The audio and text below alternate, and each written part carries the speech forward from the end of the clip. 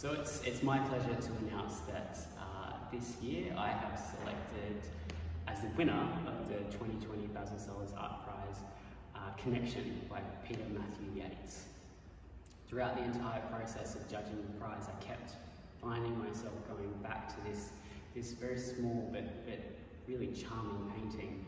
Um, Peter obviously has a very thorough understanding of the mechanics of oil paint and that is quite evident through what he's managed to produce for this exhibition.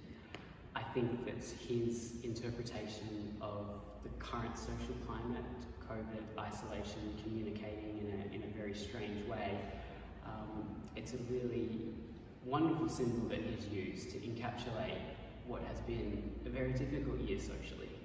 The subtle glow of the uh, iPad screen or laptop screen on the sitter's face is quite lovely and the depiction of the earphones in the individual's ears is a really lovely device that I think um, that I think works really well in the painting.